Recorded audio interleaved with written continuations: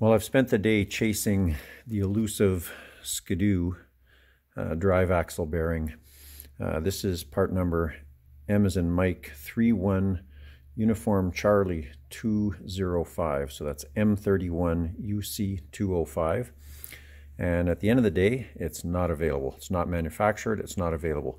Kimpex makes an equivalent, and uh, it's not available uh, anywhere. I've I've been chasing this for a day and a half.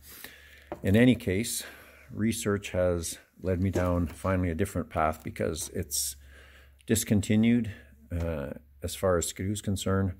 So I had to come with a solution as to what I'm putting in there. So uh, what I've done is uh, taken measurements of this bearing. The difference between this and anything else I can find, this is the locking collar side with the um, Allen key, Allen screws in it to lock it to the shaft. And the back side over here has a collar sticking out. That's what differentiates this from other bearings I can find.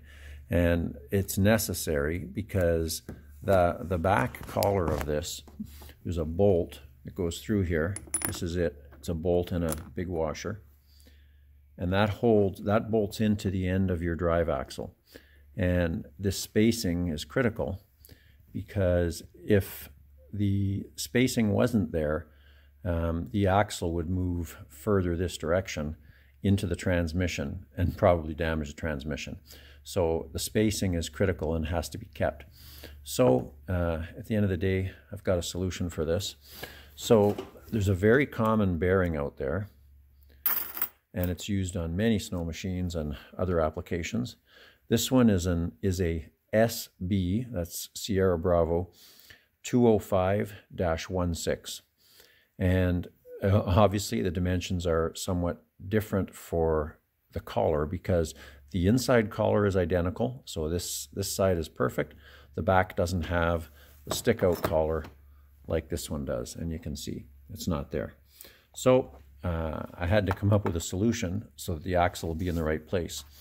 And the solution is washers. And I have found the exact combination of washers spacers, washers. Uh, they're called different things when you look them up. So these spacers are by a company called Dynaline. And the small spacer is 050. Uh, that is a part number 22708. The thick spacer is 080.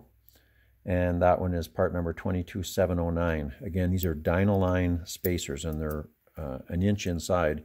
So they will go over the axle just perfectly. So at the end of the day, what I end up with is this, and it turns out to be exactly the same once I put the, that stack of washers on. So before I bolt the axle, uh, when I put it in place, these washers will slide over the end of the axle, and then the uh, bolt and cap will go on top, like so, and I will have the exact same thing I had before with the bearing that's no longer available.